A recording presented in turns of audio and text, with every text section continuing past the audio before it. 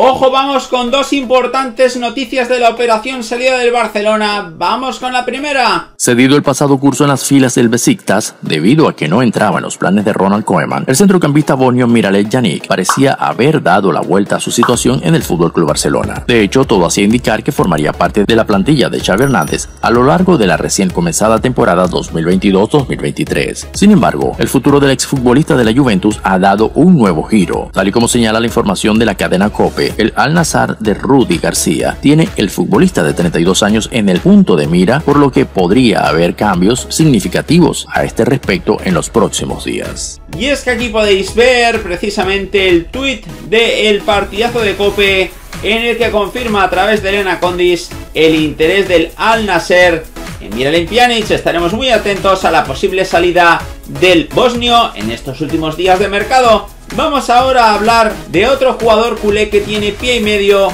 fuera del club. Queda muy pocos días para que finalice el mercado de fichajes estival y en el Fútbol Club Barcelona aún quedan varias carpetas por cerrar. El futuro de Martin Braithwaite es uno de los que más preocupación genera en el club, a pesar de que en los últimos días han acercado posturas entre ambas partes para que el jugador danés abandone el Spotify Camp Nou como agente libre. Mundo Deportivo ha informado que para el Barça es una prioridad cerrar la carpeta de Braithwaite después de que Xavi Hernández le hiciera saber al jugador que no entra en sus planes. El aviso llegó durante el mes de mayo, pero hasta ahora se había mostrado reacio a la posibilidad de hacer sus maletas. De hecho, en algún momento se llegó a apuntar que quería quedarse a pelear por un puesto, algo que ya sabe que es imposible. En el club se lo han dejado saber nuevamente y, tal como están las cosas, Brayway está cambiando de parecer con respecto a su futuro. Mundo Deportivo explica que si bien aún no ha tomado la decisión final, está valorando todas las alternativas para abandonar el Barça antes de que finalice este mercado de fichajes estival. Los culés, como siempre, trabajan a contra reloj para cerrar.